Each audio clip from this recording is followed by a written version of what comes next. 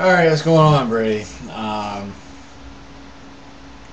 figure to give you a quick rundown of what works for me as far as uh, coming up with a podcast. Uh, Arthur, I'm not sure what worked for you really, as far as uh, you know time and what you need, you know what days are good for you.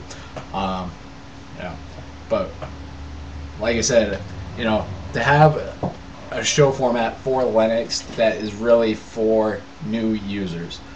You know, I don't want a show format where you know I I subscribe to uh, Jupiter Broadcasting and their Linux action show and stuff. But you know they're more geared to like the politics and you know of open source and you know they really don't get down and you know show people you know talk about programs that people use or any of that kind of stuff you know, just like everyday, you know, what we consider mundane things in the world of Linux, they don't go into, you know, and that's what I kind of want to do. I want this podcast idea to be kind of really geared towards new users. You know, say like the first show we can explain the differences between distros and stuff and how people need to be guided to the right distro. Um, probably I think last year I came up with a way for people to determine how they can find the right Linux distribution for them if they're in the market for a new OS. So, you know, it's just that kind of stuff. You know, keep it simple, keep it focused. Don't go on these you know hour long montages of different things. You know, if you know, keep it very very focused and very very simplified. You know, if we can get some interviews like Brady with uh,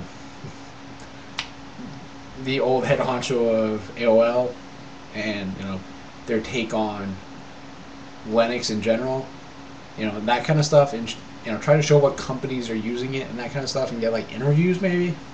That would be kind of cool because, it, you know, it would show that we use Linux a lot more than people realize. And you know, when people start seeing an overall picture, they're like, wow, we use stuff more than we thought. You know, just because it's not advertised.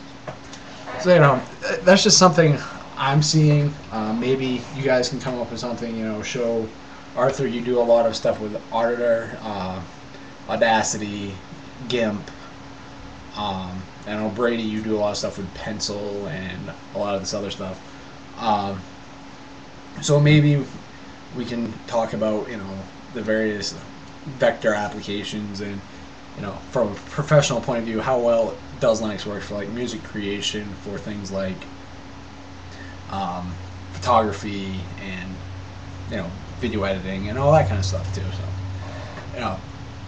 That's just some of the things I'm looking at um, really want you guys input though um, it'd be greatly appreciated. Um, you know I don't want to get into the I don't want the podcast to essentially end up into the.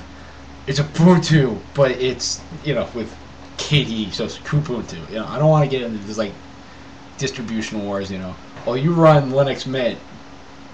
I don't want to get into those kind of things.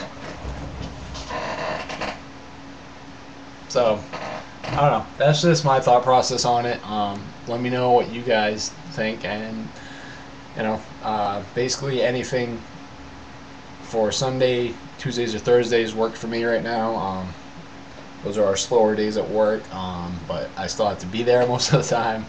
So Thursday, I can probably swing better because that's like our slowest night of the week.